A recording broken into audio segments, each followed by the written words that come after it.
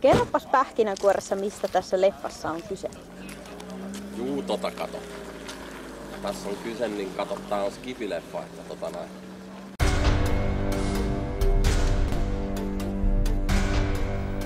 NATO-kommonen idea sai varmaan alkunsa siitä, että me mietittiin, että mitähän sitä nyt taas sitten seuraavaksi tehtäisiin, kun oltiin tehty tämä mieshervonasta ja siitä alkoi olla jo vähän aikaa, että sitten teki mieli tehdä taas vähän jotain pitkää filmiä.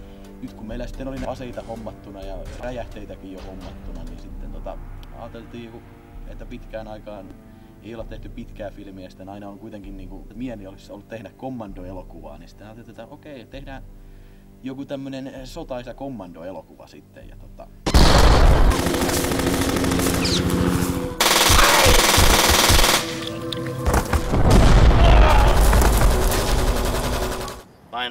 parhaita miehiä käyttämällä saadaan aikaan parasta mahdollista tulosta. Tuossa ne kuva. Ja liian hidas avaus. Mun tehtävä kenttääni kuuluu teknisesti niin kuvauslokaatioiden järjestely sekä kaikki missä, kaikki missä niin kun paukkuu, hylsyt lentää, bensiini palaa ja räjähtää.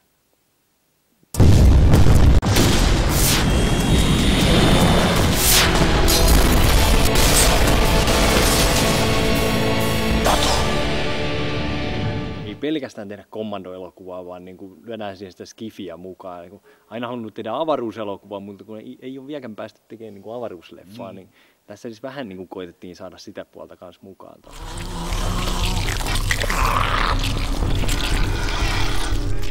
Aina kässärissä on niinku semmoista kunnianhimoisempaa juttua, mitä, mikä on hienoa paperilla, mutta kumminkin tietää, että ei saada käytännössä toteutettua, niin että sitten karsittiin niin kuin mä ja Matti aika paljon sitä niin kuin mitä ehdotettiin Villelle, niin kuin, että kannattaisiko nämä poistaa jo niin kuin kässärivaiheessa, niin ei tule sitten niin paljon siinä kuvausten aikana, niin kuin mitä joutuu kumminkin karsiin pois.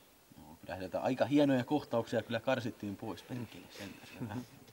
Mutta onhan siinä nytkin, on silti elänyt se kässärit, siinä niin. onko siinä taas yhdeksäs versio menossa niin kuin nyt tällä niin, Siinä on aina tehty sillä että kun me ollaan kuvattu aina jotain, ja sitten riippuu, että mitä me nyt kuvattiin, tai aina vähän joku muuttuu, niin sitten sitä on aina uudelleen kirjoitettu, ja totta kai sitten se niin kuin tarinakin on elänyt siinä, että tota, näin, niin sitten on keksitty jotain uutta ja sitten niin oivallettu, että tämä voisi oikeastaan toimia paremmin näin. Ei vaan miksi sä tapoit Kika?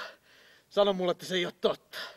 Mitä on yhden horatsun henki verrattuna demokratian turvallisuuteen?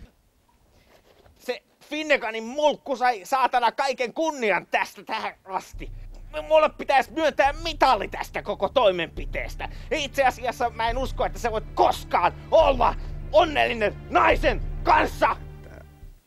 Evert Sultanin Fägerlund, hän on siis kuitenkin, hän on jossain määrin alkoholisoitunut hahmo.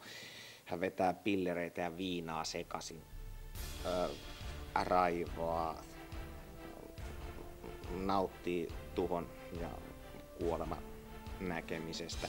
Joka on muuten myöskin homoseksuaali, by, uh, by the way. Joo, Everstiluutnantti Fägerlundin.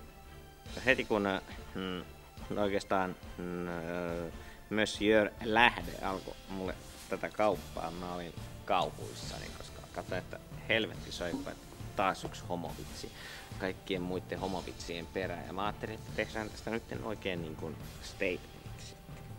Eli toisin sanoen Everstiluutantti Fägerlund hän on siis niin kuin, mm, hahmona, niin se on homoseksuaali, mutta ää, toisin kuin yleensä, yleensä tota, tämmöiset mediassa esiintyvät homoseksuaalit, niin tämä tämä niin kuin, tämä paukuttaa kaikki helvetin stereotypiat sinne, minne ne kuuluukin.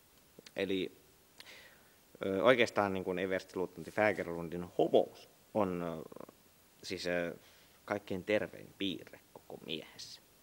Unohditko? Tämä meillä on yötaisteluharjoitukset. Ampumista, sabotaasia, räjäyttelyä ja rasistisia vitsejä. Oh, joo, he, herra Eversti, mitä helvettiä? Että siis kyseessä on henkilö, missä yhdistyy Adolf Hitlerin ja Josef Stalinin kaikkein epämiellyttävimmät piirteet, ja niitä on, niitä on vedetty vielä potenssiin kaksi. TV-kanavan nelonen ei Takula haluaisi niin mihinkään ohjelmaansa hoitelemaan jonkun tyypin kämpän sisustusta, että hän ei totea, että täällä on väärän väriset verhot. Sen sijaan niin hän yksinkertaisesti niin tunkee suoraan perkele fosforigranaatin sisään ja toteaa, että palakaa saatana. Oi saatana! Perkele vittu! Homo kässy perkele! Kyllä vituttaa kun vietnamilaisilla on kässyjä perkele!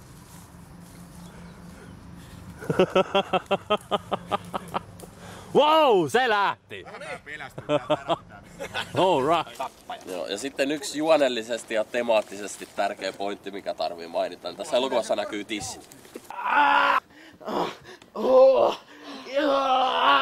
Kyllä tytöt paljon baarissa lupaa, että joo, kyllä minä lähden ja varmasti tuun sitten näyttelemään, mutta eri ääni on sitten kellossa sitten, kun soitetaan, että no niin läheksää sitten, niin, niin en mä nyt lähde, kun on kaikkea pesutupaa ja semmoista, mutta tota noin niin.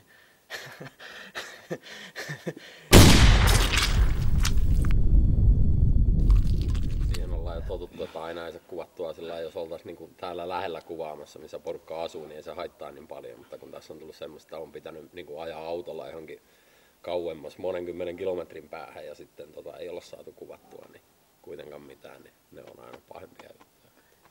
No siis tämä mökkireissu oli ihan niin kuin täysin katastrofaalinen pommi. Eli se, mä nyt kerron sen tarkemmin, kun se äsken tuossa tuli. Että, siis tavoitteena oli mennä mökille viikonlopuksi kuvaamaan kohtauksia. No, vähän oli semmoista sateista ilmaa sitten, mutta mä ajattelin, että ei, kyllä, kyllä me lähdetään kuvaan nyt vaikka vähän tihkua. Kyllä se sitten laantuu se sade siinä sitten ja alettiin sitten Kangasolle päin vähän matkaa. Ensin toki väärään suuntaan, pa- 10 kilometriä. No, mutta sitten oikein reitti löytyikin siitä sitten, että joo, kyllä me nyt päästään ihan hyvin kuvaamaan sitten. Mentiin sinne, oltiin melkein perillä, mutta sitten yllättäen tie on poikki. Tielaitoksen mies vilkuttelee sinne merkkiä, että tota noin, niin, tässä nyt on sade syönyt tien, että ette te pääse tätä kautta, että pitää mennä tota, kiertää tosta niinku, mikä joku vesilahden kautta, mikä olisi niinku taas ollut joku 25 kilometriä kiertänyt No siinä vaiheessa niin näytti siltä sato, sataa koko ajan lisää ja lisää, niin mutta ei vittu, ei, ei me tänään lähdetä mihinkään kuvaan, että me tullaan sitten huomenna uudestaan yrittämään tätä juttua. Mutta no kuvauksen nostetut oluet sitten jaettiin siitä ja sitten lähdettiin niin nauttimaan niitä sitten illaksi jonnekin Hervantaan taidettiin mennä sitten. Ja no sitten seuraavana aamuna sitten, niin kun herättiin siitä sitten, niin oli vähän, vähän oli heikko olo sitten kuvausryhmällä sitten niin päätettiin sitten, että, että tota, Öö, mennäänkin kuvaan sitten sunnuntaina vaan se yksi kohtaus sitten tällään sitten. No, sittenhän me mentiin sunnuntaina sitten kuvailemaan tota juttua ja sitten, sitten kävi ilmi, että tota, päähenkilöiden vaatteet on jossain. Ne ei ole mukana ensinkään, että ne on tässä paikassa ja siis tänne meillä ei ollut sitten accessia silloin sunnuntaina. Joten me ei sitten sunnuntainakaan päästy kuvaan, mutta ei se mitään, kuvataan maanantaina. Niin että tullaan hakemaan ne täältä. No okei, Matti tuli sitten hakemaan niitä kamoja täältä, mutta niin kuin, ei ne ollutkaan täällä. Ja me ei vielä tähän päivään mennessä tiedetä, missä vitussa ne on. Että ne, sen me, meiltä hävisi kassillinen niin kuin päähenkilöiden vaatteet, ne hävisi jonnekin kesken film. No sitten oli edessä kirpputori kierros, että piti hakea vähän samankaltaisia vaatteita, niin, niin me sitten haettiin ja sitten kuvattiin, että taisi olla kolmen viikon tauko siinä välissä sitten, että oli niin hermosti, perkele, ei, ei kyllä filmin teko maistunut sitten enää siinä vaiheessa taas vähän aikaa. Okei, mutta toi on ihan normaalia tämän tyylisessä tuotannossa sitten. Kuitenkaan me ei tehdä tätä työksemme ainakaan mm. tällä hetkellä, niin siis onhan se nyt vähän semmoista harrastelijatoimintaa. Ei ne aina pääse sitä palloakaan potkiin, jos ne haluaa. Niin. Mun rintakarvoin ei sitten teipata yhtään. Onko sitä? Se yleensä repee siinä mukana. Eli kyseessä on veriefekti. Eli mitä tapahtuu seuraavaksi? Kolmen sekunnin ajan leikkiin Tota, tää teipataan tää letku tähän Eiköhän se kiinni. nyt pysy siinä. Sitten tota noin, niin se pistetään verta ja sitten joku puhaltaa sieltä, niin sieltä roiskahtaa. Sitten. Action!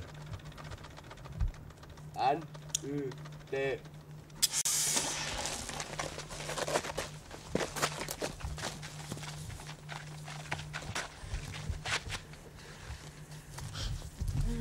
Joo, vitun hienosti lensi vertakin. Niin lensi, toi oli Niin, mihin kohtaan mun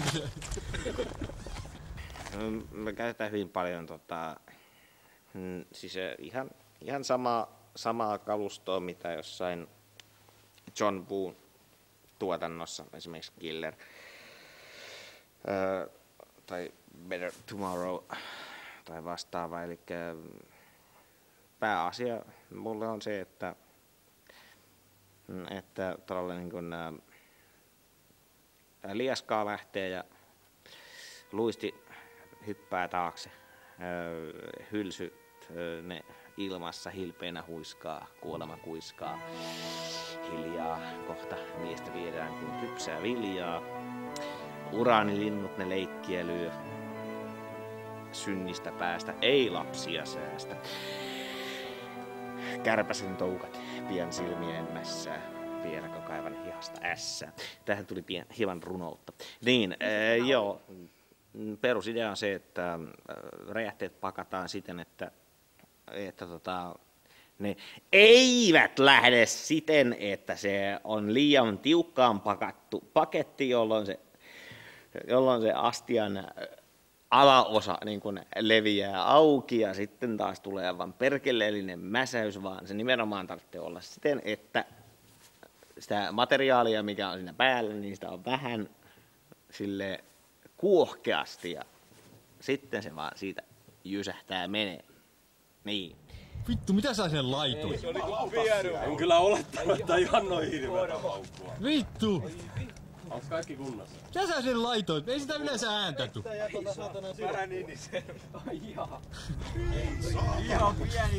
Jos huomenna aamuna vielä soi korvissa, niin Ville, stoppaa se kamera. Pakkasit sen, voi Jeesus. Ai vittu mun korva. Ei saatanan saatana. Hei Rantala. Vastaisuudessa mä teen pommi. Niin. Piste. Niin. Paljon se räjähdys on? Ei vittu. Ihan rehellisesti sanottuna niin tästä Alex Lommosta tunnetaan myös nimellä Ville Lähde, niin siitä on mm, Commandon kouluniminen ollut hyvin, hyvin hankala prosessi. Että, että, että ne ensimmäiset mökkikuvaukset, niin ne, ne meni hieman, no, kyllähän ne hyvin meni, mutta tota, joka tapauksessa. Ai saatana, siellähän oli vielä yksi kuti piipussa. Ai perkele, siellä oli toinenkin. Hei, helvetti, kolmas.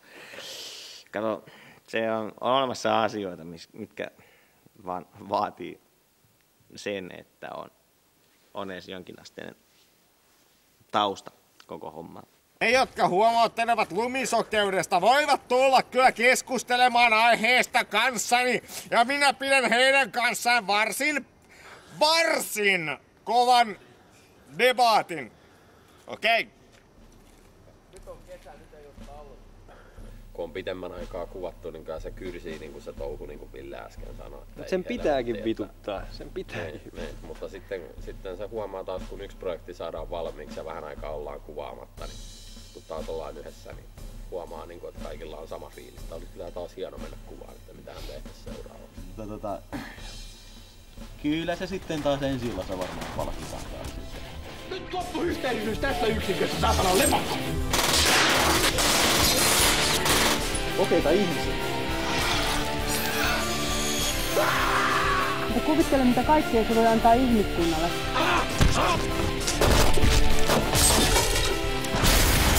Mua ei tällä hetkellä kiinnosta mikään muu kuin mun kaverin löytäminen. Okei, vireestä päästö. Minkä takia muuten pornoille ei Kai se äk- äkkiä voi kato kääntää sivuun, muija tulee huoneelle. Joo, mä, Joo, mä luin. luen tässä artikkeli syvänmeren kalastuksesta. Kyllä se kustoo, kyllä se oli kova äijä, perkele.